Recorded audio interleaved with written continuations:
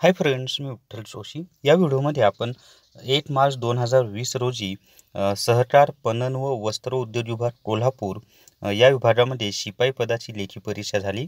त्या परीक्षेमध्ये गणित बुद्धिमत्ता चाचणीवर पंचवीस प्रश्न विचारले होते.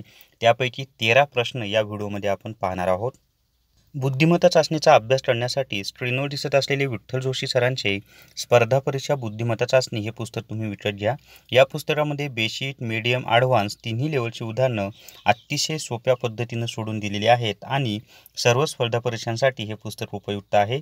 हे पुस्तक तुम्हाला विकत घ्यायचं असेल तर अठ्ठ्याऐंशी शून्य सहा शून्य सहा शहाऐंशी अठरा या माझ्या व्हॉट्सअप नंबरवर मेसेज करा किंवा फोन करा.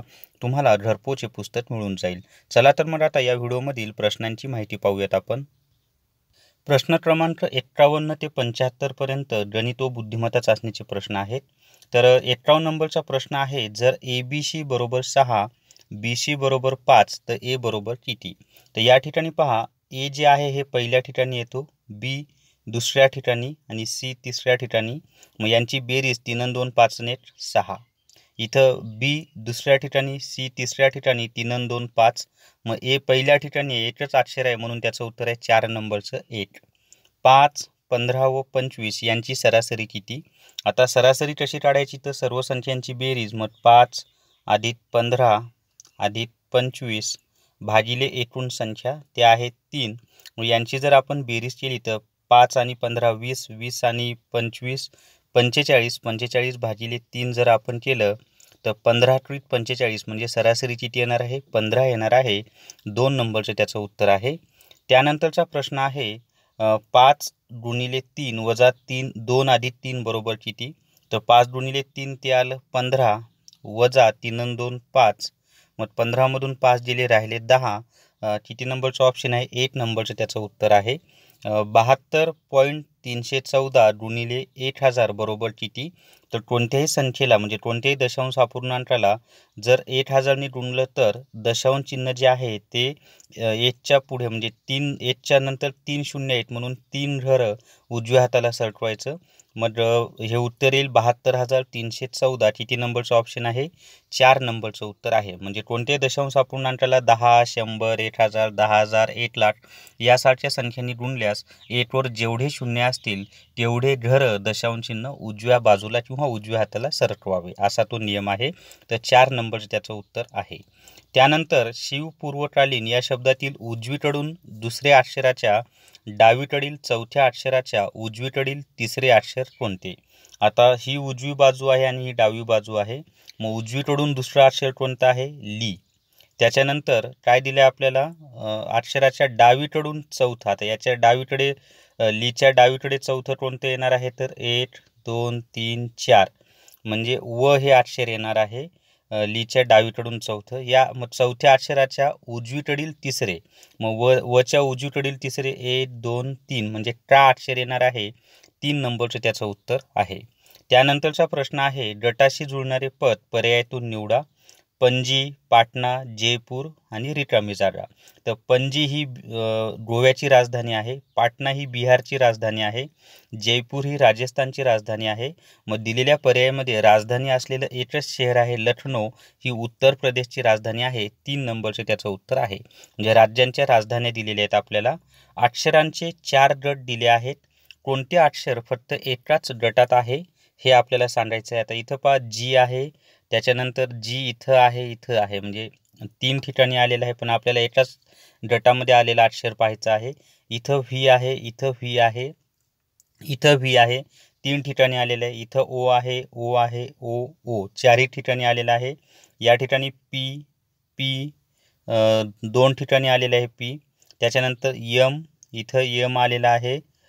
दोन ठिकाणी आलेलं आहे यम त्याच्यानंतर इथं एल आहे. इथं येल नाही इथं पण येल नाही इथं पण येल नाही. म्हणजेच येल हे अक्षर फक्त एकाच गटामध्ये आलेलं आहे. तीन नंबरचं त्याचं उत्तर आहे यल. त्यानंतरचा प्रश्न आहे प्रश्न क्रमांक अठ्ठावन्न एकोणसाठ व साठ. या प्रश्नात पहिल्या व दुसऱ्या पदाचा जसा संबंध आहे अगदी तसा संबंध तिसऱ्या व प्रश्नचिन्हाच्या जागी येणाऱ्या पदाचा आहे हे लक्षात घेऊन प्रश्नचिन्हाच्या जागी सर्वात योग्य पर्याय निवडा. तर अठ्ठावन्न नंबरचा प्रश्न त्यांनी दिलेला आहे. लोकसभा पाच वर्षे राज्यसभा प्रश्नचिन्ह. तर मुळात लोकसभा ही पाच वर्षांसाठी असते पण राज्यसभेचा काही कालावधी नसतो. म्हणजे आपण सदस्यांचा विचार करूयात की लोकसभेच्या सदस्याचा कालावधी पाच वर्षे आहे आणि राज्यसभेच्या सदस्याचा कालावधी हा सहा वर्ष आहे. एक नंबरचं त्याचं उत्तर आहे. आणि हा फरक लक्षात ठेवा की राज्यसभा हे स्थायी सभा राहते कधी बरखास्त होत नाही. परंतु राज्यसभेच्या सदस्याचा कालावधी सहा वर्ष असतो. मोतीबिंदू डोळा जलदंड प्रश्नचिन्ह. तर मोतीबिंदू हा आजार डोळ्याशी संबंधित आहे. तसा जलदंड हा आजार डोळ्याशी संबंधित आहे. तीन नंबरचे त्याचं उत्तर आहे. आयोडीनच्या कमतरतेमुळं जलदंड होतो. एकशे पंचवीस छत्तीस एक हजार प्रश्नचिन्ह. आता या ठिकाणी पाचचा घन जो आहे तो एकशे पंचवीस आहे. पाच नंतर लगेच येणारी संख्या सहा सहाचा वर्ग छत्तीस. मग दहाचा धन एक हजार आहे. दहा नंतर लगेच येणारी संख्या अठरा आणि अठराचा वर्ग किती येतो? एकशे एकवीस येतो. किती नंबरचं ऑप्शन आहे? दोन नंबरचं त्याचं उत्तर आहे एकशे एकवीस. त्यानंतर तीन सात पंधरा एकतीस त्रेसष्ट प्रश्नचिन्ह. तर या ठिकाणी पहा तीन आणि सातमध्ये कितीचा फरक आहे? चारचा फरक आहे. सात आणि पंधरामध्ये आठचा फरक आहे. पंधरा आणि एकतीसमध्ये सोळाचा फरक आहे. एकतीस आणि त्रेसष्टमध्ये बत्तीसचा फरक आहे. म्हणजे फरकाची दुप्पट होते. चारची दुप्पट आठ आठची दुप्पट सोळा सोळाची दुप्पट बत्तीस. मग बत्तीसची दुप्पट किती येते? चौसष्ट. मग त्रेसष्ट आधी चौसष्ट जर आपण केलं तर चार आणि तीन सात सहा सहा बारा. एकशे सत्तावीस हे त्याचं उत्तर आहे. तीन नंबरचं त्याचं उत्तर आहे. त्यानंतर बासष्ट नंबरचा प्रश्न आहे. अठरा तेरा सतरा एकोणीस तेवीस प्रश्नचिन्ह. तर या ठिकाणी ह्या मूळ संख्या आहेत. अठरानंतर येणारी मूळ संख्या तेरा. तेरानंतर येणारी मूळ संख्या सतरा सतरानंतर येणारी मूळ संख्या एकोणीस एकोणीस नंतर येणारी मूळ संख्या तेवीस. मग तेवीस नंतर येणारी मूळ संख्या कोणती आहे? तर एकोणतीस. चार नंबरचे त्याचं उत्तर आहे. या व्हिडिओमधील शेवटचा प्रश्न त्रेसष्टवा काल पाऊस पडत होता आज रविवार आहे. ही दोन विधाने सत्य असतील तर पुढीलपैकी कोणते विधान बरोबर ठरेल? तर आज रविवार आहे आणि काल पाऊस पडत होता म्हणजे काल शनिवार होता. मग आज पाऊस पडेल हे सत्य नाही आहे शनिवारी पाऊस पडला हे बरोबर आहे. कारण काल पाऊस पडत होता आणि आज रविवार आहे.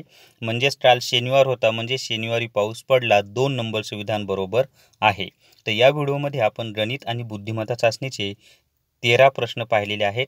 हा व्हिडिओ तुमच्या मित्रांसोबत इतर व्हॉट्सअप ग्रुपवर आणि टेलिग्राम चॅनलवर जास्तीत जास्त शेअर करा आणि विठ्ठल जोशी माझं चॅनल सबस्क्राईब करा. Thank you very much